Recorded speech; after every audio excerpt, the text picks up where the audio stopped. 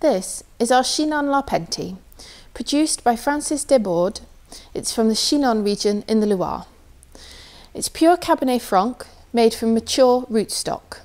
It's a wine that Yapp have been shipping for over 40 years and consistently, vintage on vintage, it's excellent.